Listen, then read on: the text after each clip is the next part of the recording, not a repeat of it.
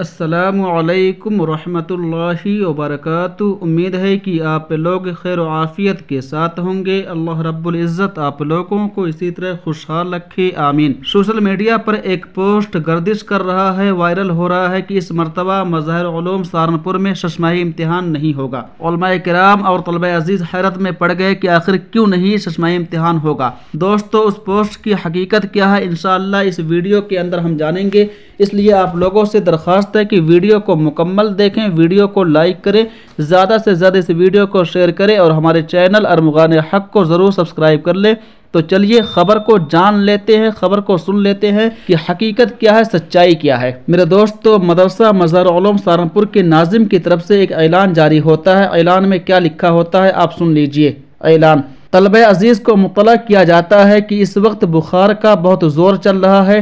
हमारे तलबा की एक अच्छी खासी तादाद इससे मुतासर है।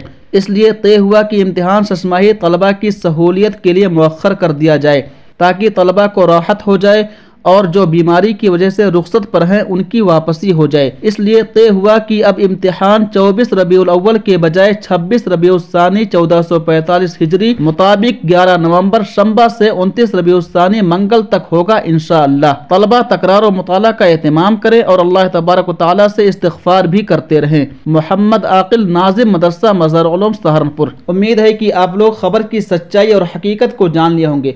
दोस्तों, मदरसा, मज़ार सारापुर में शशमाही इम्तहान को ख़त्म नहीं किया गया है, बल्कि बुखार और बीमारी की वजह से शशमाही इम्तहान को मौखर कर दिया गया है। दोस्तों, इस वीडियो को ज़्यादा से ज़्यादा शेयर कीजिए, तब तक आप हमें इजाज़त दीजिए। अल्लाह हाफिज़, अपना ख्याल रखिएगा।